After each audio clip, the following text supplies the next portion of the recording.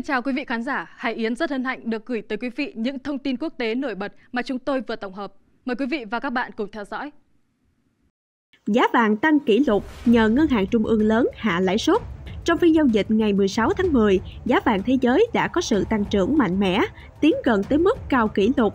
Trong bối cảnh lợi suất trái phiếu Mỹ giảm và các dự đoán về việc các ngân hàng trung ương lớn sẽ tiến hành hạ lãi suất, thông tin đáng chú ý được ghi nhận từ báo tin tức giá vàng đã chứng tỏ sức hấp dẫn của mình như một hầm trú ẩn an toàn giữa những bất ổn toàn cầu và các xung đột địa chính trị đang diễn ra.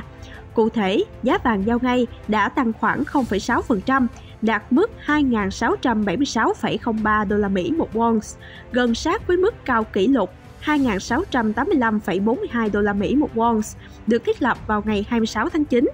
Bên cạnh đó, giá vàng giao dịch kỳ hạn của Mỹ cũng ghi nhận sự gia tăng, đạt 2.692,6 đô la Mỹ một ounce, tăng 0,5% trong phiên giao dịch này. Theo nhận định của chiến lược gia Peter A. Grant từ công ty kinh doanh kim loại quý Zener Metals, dự đoán về việc Cục Dự trữ Liên bang Mỹ Fed sẽ hạ lãi suất 25 điểm cơ bản vào tháng 11 năm 2024 đang ngày càng trở nên khả thi hơn. Các dữ liệu lạm phát yếu hơn tại châu Âu và Vương quốc Anh cũng đã gia tăng kỳ vọng về việc Ngân hàng Trung ương châu Âu ECB và Ngân hàng Trung ương Anh BOE sẽ thực hiện các biện pháp nới lỏng tiền tệ mạnh mẽ hơn. Sự giảm lãi suất này khiến lợi suất trái phiếu giảm, từ đó tạo điều kiện thuận lợi cho giá vàng tăng lên. Ông Ren dự đoán rằng giá vàng có khả năng sẽ vươn tới gần mức 3.000 đô la Mỹ một ounce trong quý 1 năm 2025. Theo công cụ CME Fed Watch, các nhà giao dịch hiện đang đặt cược vào khoảng 96% khả năng Fed sẽ cắt giảm lãi suất 25 điểm cơ bản trong tháng 11 tới đây. Trong bối cảnh này, ECB cũng có khả năng thực hiện một đợt cắt giảm lãi suất khác vào ngày 17 tháng 10, trong khi đà giảm của lạm phát tại Anh lại tạo ra tín hiệu cho thấy BOE có thể cắt giảm lãi suất vào tháng tới. Chuyên gia Oli Hansen từ ngân hàng Sasobank đã chỉ ra rằng có nhiều yếu tố thúc đẩy giá vàng trong thời gian tới, bao gồm bất ổn tài chính, căng thẳng địa chính trị, xu hướng giảm phụ thuộc vào đồng đô la Mỹ, sự không chắc chắn xoay quanh cuộc bầu cử tổng thống Mỹ và động thái cắt giảm lãi suất từ các ngân hàng trung ương lớn. Ngoài ra, tại hội nghị thường niên của Hiệp hội Thị trường Kim loại London, nhiều đại biểu đã dự đoán rằng giá vàng có thể tăng lên tới 2.941 đô la Mỹ một ounce trong vòng 12 tháng tới, một con số phản ánh sự lạc quan của giới đầu tư về xu hướng giá vàng.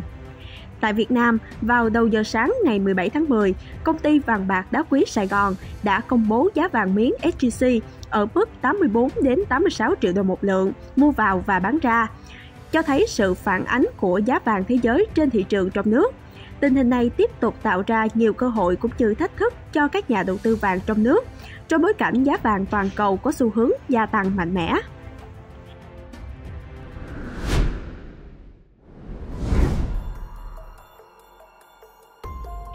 Giá vàng tăng, chuyên gia thay đổi quan điểm đầu tư. Giá vàng đã ghi nhận đà tăng vững chắc trong năm qua, một chuyên gia cho biết đã thay đổi quan điểm về đầu tư vàng, ghi nhận từ báo lao động. Theo Kitco, dù nhu cầu vàng của nhà đầu tư khá ảm đạm trong suốt năm 2024, nhưng tâm lý dường như đang thay đổi.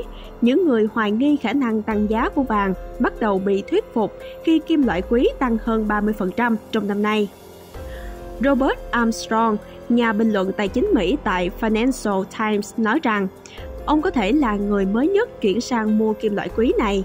Trong bài phát biểu tại Hội nghị Kim loại quý của Hiệp hội Thị trường Vàng Thỏi London năm 2024, ông đã lưu ý đến sức hấp dẫn của vàng trong thời kỳ có nhiều hỗn loạn. Vàng duy nhất tôi đang sở hữu là những chiếc khuy măng xét mà tôi đeo sáng nay. Tuy nhiên bây giờ tôi nghĩ đã đến lúc mua vào, Robert Armstrong cho biết. Trong một bình luận với Kitco News, Armstrong đã làm rõ rằng đây chỉ là quan điểm cá nhân của ông về thị trường. Dù ông thấy vàng có giá trị, nhưng đây vẫn là một giao dịch phức tạp. Khi mọi thứ trở nên tồi tệ, vàng dường như hoạt động tốt. Armstrong nói thêm rằng, nhược điểm khi đầu tư vàng là các nhà đầu tư cần nắm giữ trong thời gian dài để được hưởng lợi. Về việc đầu tư vào vàng, quan điểm cá nhân của ông là vàng đang được định giá quá cao và tốt hơn là nhà đầu tư nên mua khi giá giảm thay vì chạy theo thị trường. Khi Armstrong có thể đang tìm kiếm cơ hội mua vào, ông lưu ý trong bài thuyết trình của mình rằng đà tăng của kim loại này được hỗ trợ bởi các yếu tố cơ bản mạnh mẽ vì sự bất ổn về kinh tế và địa chính trị vẫn ở mức cực kỳ cao. Ông chỉ ra rằng có những dấu hiệu cho thấy các nhà đầu tư đang bắt đầu tích lũy vàng như một kênh thanh khoản và phòng ngừa sự suy thoái của thị trường. Nhìn xa hơn về nhu cầu của người tiêu dùng, Armstrong cho biết nhu cầu của ngân hàng trung ương cũng là một lý do khác khiến vàng có thể duy trì xu hướng tăng hiện tại. Ông nói thêm rằng không có gì ngạc nhiên khi các quốc gia bắt đầu đa dạng hóa khỏi đồng đô la Mỹ.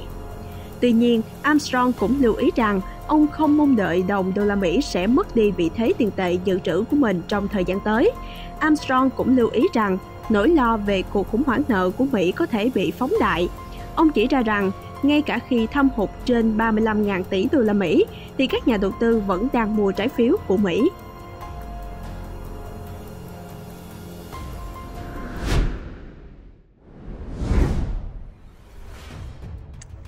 Dân than khổ vì doanh nghiệp siết chặt mua bán vàng. Hiện nay, người dân muốn mua vàng miếng, vàng nhẫn sgc hầu như chỉ còn cách duy nhất là qua chợ đen.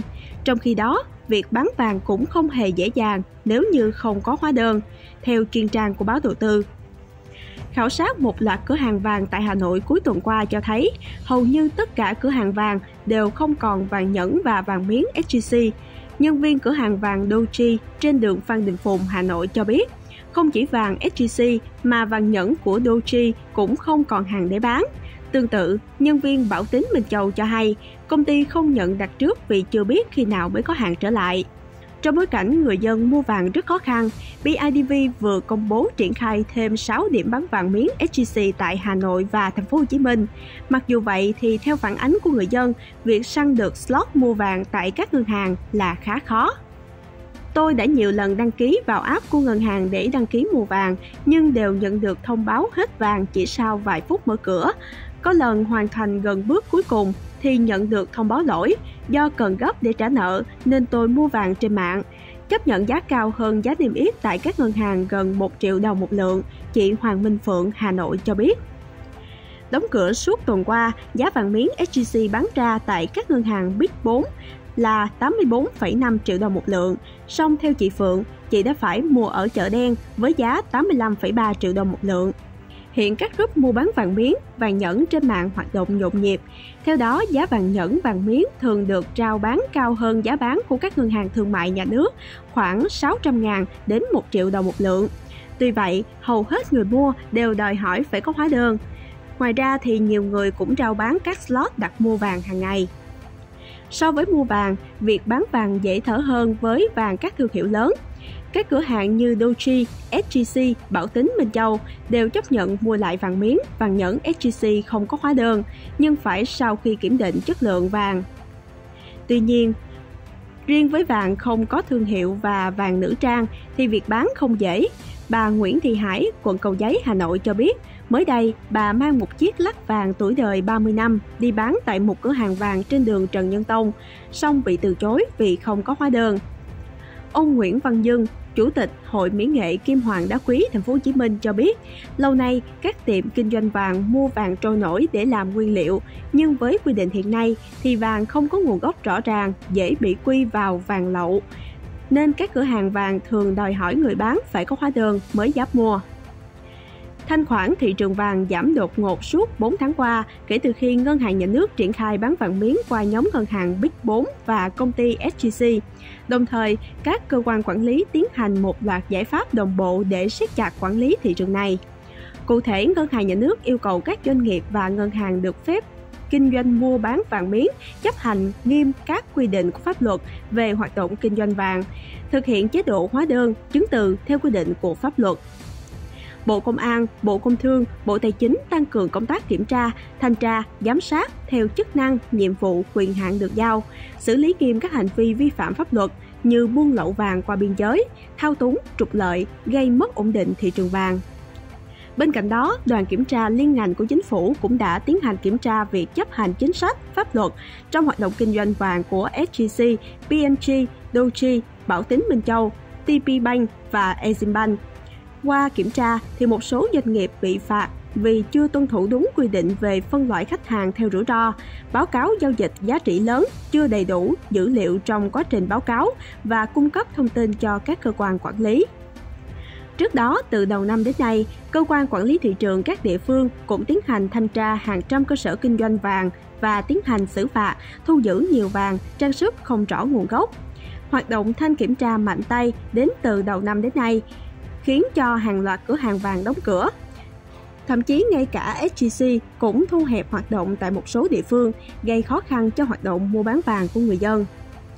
Phó giáo sư tiến sĩ Đinh Trọng Thịnh, chuyên gia kinh tế cho rằng, các giải pháp quản lý thị trường vàng mà ngân hàng nhà nước và các bộ ngành thực hiện trong thời gian qua đã mang lại một số hiệu quả tích cực, song thị trường vàng vẫn còn nhiều yếu tố bất ổn và chưa thông suốt. Theo cảnh báo của các chuyên gia, sự đóng băng thị trường vàng dẫn tới tình trạng vàng hai giá như hiện nay. Nếu kéo dài thì sẽ ảnh hưởng đến quyền lợi của người tiêu dùng và gây rủi ro cho thị trường. Một khi giá vàng tăng nóng, giá vàng chợ đen quá cao, thực tế đã có thời điểm giá vàng chợ đen cao hơn 3 triệu đồng một lượng so với giá vàng được niêm yết tại SGC, có thể dẫn tới hệ lụy khó lường. Vì vậy vẫn cần các giải pháp dài hơi cho thị trường vàng. Cảm ơn quý vị và các bạn đã theo dõi chương trình cập nhật thông tin quốc tế nổi bật trên kênh YouTube Diễn đàn Doanh nghiệp TV. Quý vị đừng quên nhấn chuông theo dõi kênh và đồng hành cùng chúng tôi nhé. Còn bây giờ, xin chào và hẹn gặp lại.